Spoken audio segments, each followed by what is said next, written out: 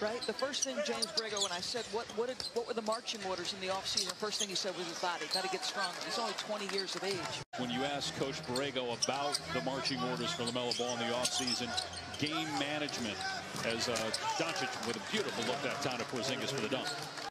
That ends a drought of 7 minutes and 38 seconds without a field goal. Preseason or not, you just don't see that in the NBA. Doncic beautifully done there. Perfect pass to foul. Owner, all of that. And you knew it, huh? You knew he was going to be a pro? No, did not. Didn't know my son was going to be a pro. I know about him.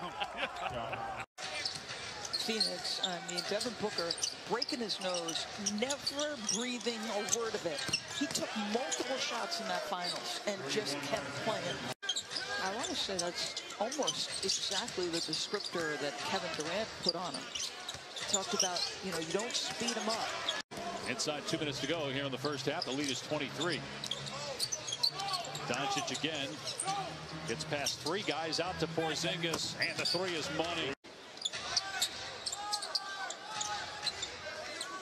Doncic. Here comes the double. Doncic shoots and scores. Mavs open up next Thursday at Atlanta. Doncic step back three for Plumlee is good.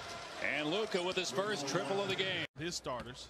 And they're to get a rare preseason road trip. They're going to spend tomorrow in Milwaukee and then take on the Bucks for their final preseason game on. I mean, he is the the picture of an improving player.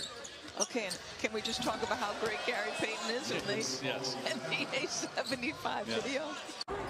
Desperation style. Write that one into the new offensive game plan.